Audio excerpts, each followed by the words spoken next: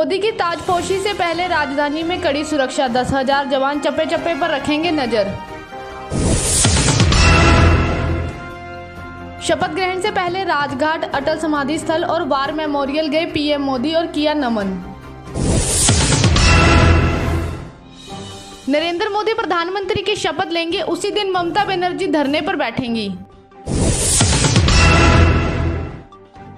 PM Modi के शपथ ग्रहण समारोह में राहुल और सोनिया भी होंगे शामिल।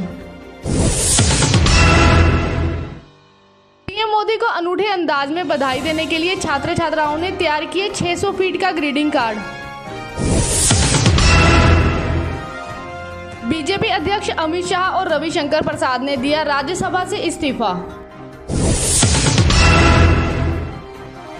राहुल गांधी के इस्तीफे की पेशकश के बाद एआईसीसी का सम्मेलन बुला सकती है कांग्रेस। एसपी की राह पर कांग्रेस टीवी डिबेट में नहीं भेजे जाएँगे प्रवक्ता।